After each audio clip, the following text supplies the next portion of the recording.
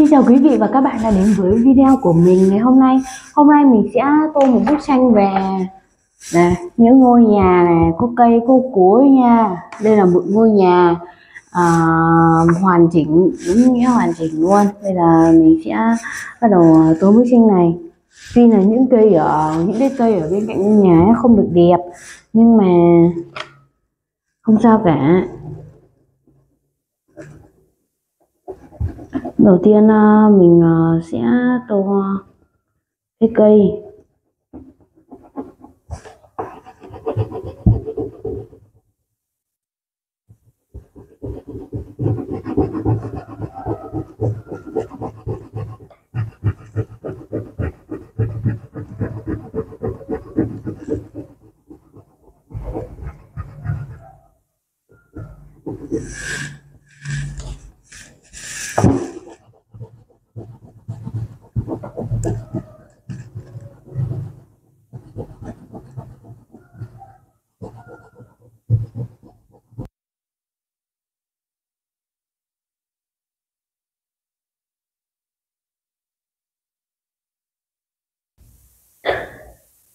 Vậy là mình đã tô xong uh, uh, cái những cái bụi cây ở xung quanh nhà. Bây giờ mình sẽ tô đến thân cây hai cây cao ở trên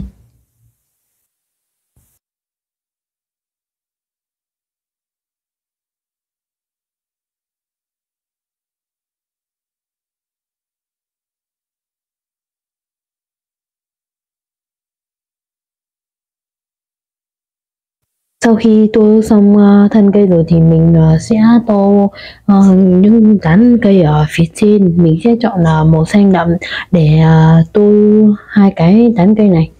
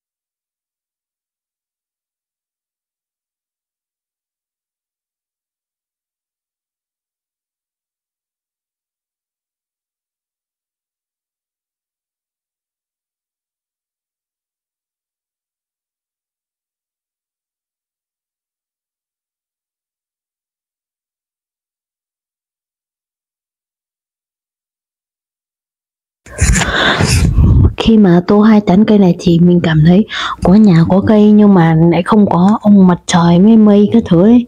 Cho nên mình sẽ sau khi tô xong uh, phần cây ở trên mình sẽ tự tự uh, vẽ thêm mặt trời và mây để cho khung cảnh nó hoàn chỉnh hơn.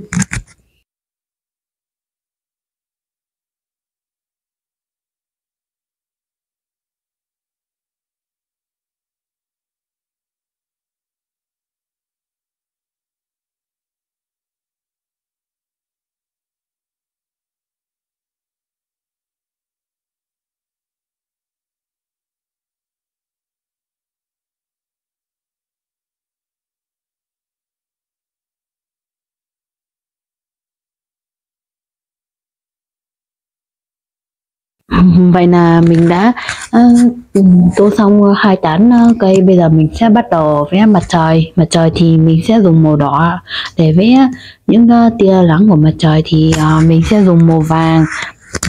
Còn uh, mây thì mình sẽ dùng màu xanh. Mình sẽ vẽ ba đám mây nối tiếp nhau.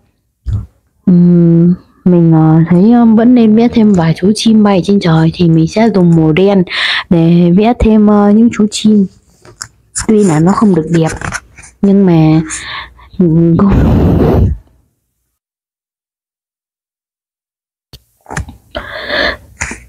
vậy là mình đã vẽ xong bức tranh của chúng ta. Bây giờ mọi người hãy xem và hãy cho mình một like, một subscribe để ủng hộ mình ra những video lần sau. Ông cảm ơn mọi người đã xem video của mình. Xin chào và hẹn gặp lại.